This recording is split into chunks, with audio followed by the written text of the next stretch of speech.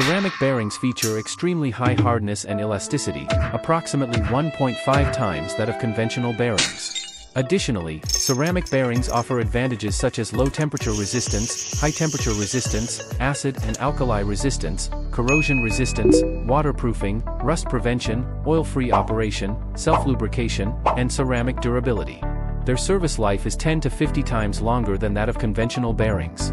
They are suitable for various environments with severe acid and alkali corrosion, such as underwater operations, medical equipment, high-speed machinery, high-speed motors, engraving machines, spindles, printing machinery, the food industry, fishing gear, and other specialized fields. Their drawbacks include lower load-bearing capacity and vibration resistance.